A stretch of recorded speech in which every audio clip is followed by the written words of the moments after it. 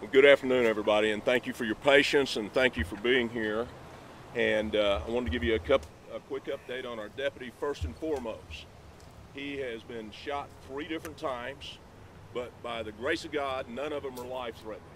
So we're, we're doing well there and have been blessed in that, that arena. Today they were executing three warrants involving sexual assault of a child, indecency with a child, and uh, restraint of a child. That was the suspect. He's a 40-year-old male. I don't have any information on him other than that, that the deputies arrived on scene and obviously this gunfight ensued. Still got a hot, active scene where they're at, and that uh, uh, hopefully is being resolved. Our SWAT team has been on scene. Fort Worth SWAT team is on scene, and uh, they're dealing with that situation. But the good news is our deputy is going to be just fine. They don't even expect surgery today.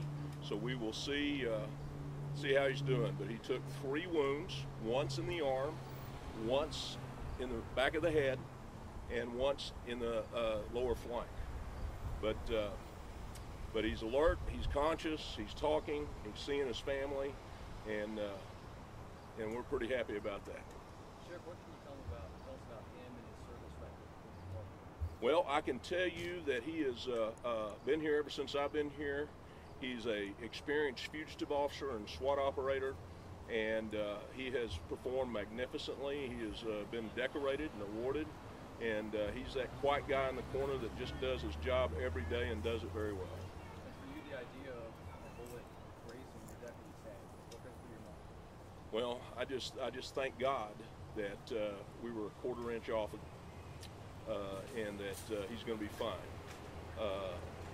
You know, it's just miraculous, just miraculous because it was pretty close combat, as I understand it so far. Of course, there's more details, as y'all all know. There will be more reports coming out to get more exact exactly what happened. But yeah, when uh, lost my heart when I was told about that shot. What type of firearm does the suspect have? Is it a handgun or a rifle or something else? We don't know all that just yet. Uh, Is there another subject beyond the suspect in the residence?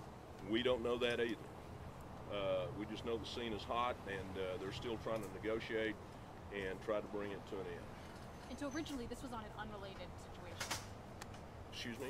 Originally this was on an unrelated situation. Well, the, no, the, the deputy along with other deputies was trying to execute uh, felony warrants Okay. uh, of the sexual assault of a child. Yeah, sexual assault. Yeah, Unrelated. Yeah, yes. yeah, they, they were going after him. We were here just a couple months ago hearing from you in almost the same spot talking about Deputy Brent Brown. When you think back over the last few months and think about two deputies being shot during that time, what goes through your mind? Unfortunately, is the times that we have that evil absolutely walks boldly among us and continues to walk among us. And uh, Tarrant County Sheriff's Office, along with Fort Worth PD and the rest of the PDs, are going to stand between that line between good and evil. And and uh, and yeah, it was just a few minutes ago with uh, Deputy Brown, who, by the way, is on the scene at this shooting uh, and back in service and doing great. Uh, was this deputy of a residence when the shooting occurred, or were they indoors?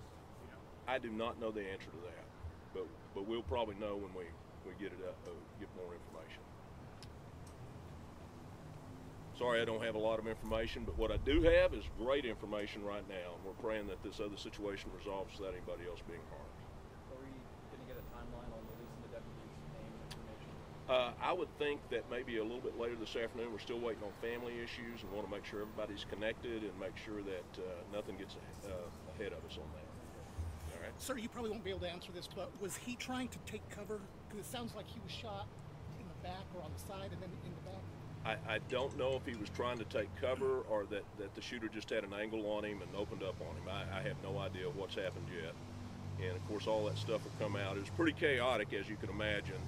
And, uh, you know, there's a lot of cops at that scene right now. And, uh, but I have confidence in Fort Worth, and I would like to say that JPS, once again, has just done an incredible job. And they they were spot on. The ambulance service was ex- excellent.